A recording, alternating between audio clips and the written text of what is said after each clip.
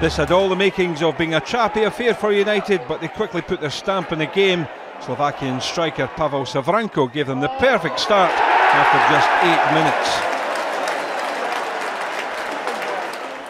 Number two came just before the break.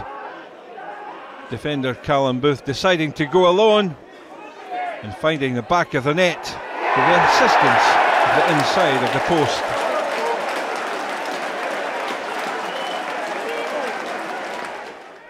Two goals in the last 10 minutes secured a tie for Robbie Neilson's side. Billy King with a neat volley with his first touch as the Montrose defence looked on. And then new signing Ian Harkes notched his first goal for the club. The move started by King, Paul McMullan it was with the cross. Harkes nipping in between two Montrose defenders. A terrific afternoon for the Tannadice club.